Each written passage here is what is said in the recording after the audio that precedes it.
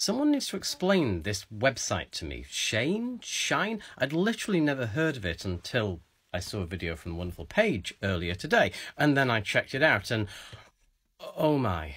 I get this. If you kind of squint, it maybe looks a bit like Harley Davidson, but not close enough for trademark infringement. And this, I guess, a little like Balenciaga, but this is where we leave reality behind. This is exactly the point where I lost it. I'm everybody, I'm history, keyboard 2021. First, I thought this said prison surprise, but but no, it's like suppose pre Priam. Uh, just me, but one of the most sinister t-shirts one can buy. Maybe university, maybe a car park. Who who could know? I mean, uh, bear, but also bear.